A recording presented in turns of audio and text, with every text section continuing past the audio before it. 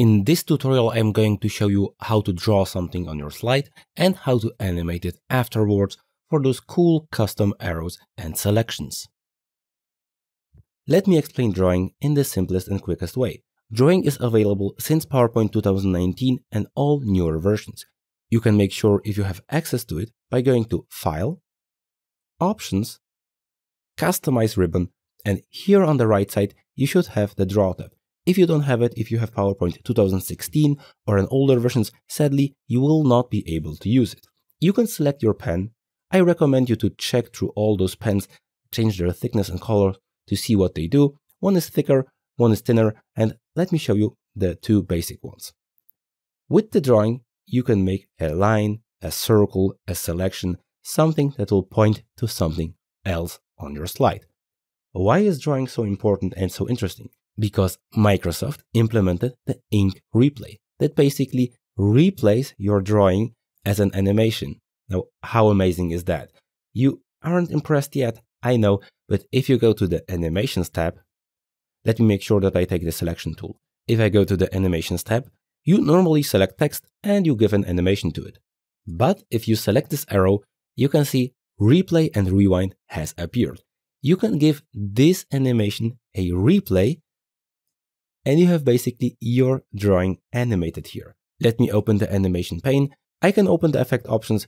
You can select all at once because I have two drawings here. I have this line and this line. Since they were drawn in quick succession, PowerPoint grouped them into one.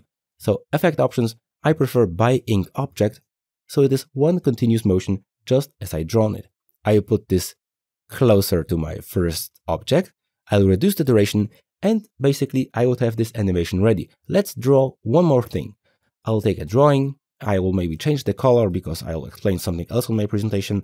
I'll explain something about Tom and I'll just select him like this. Selection tool, animations, give this object an animation as well, reduce the duration so it isn't as long, and let me show you. On the left side, you can see Sandy. If you take a closer look, Sandy has something, something, something. On the right side, you have Tom. Tom is actually this dude on the right side. As you can see, I've selected something on my presentation, something on my slide in a really cool fashion and everything is animated. If you want to dive deeper on drawing, creating animations, creating videos with PowerPoint, I've recently published a course. You have links to it in the description below. It supports my channel and it will teach you a lot of valuable animation tricks in PowerPoint. But coming back to the tutorial, one important thing you need to remember about drawing, drawing tries to emulate real drawing. If you drag your mouse slowly, it's thick.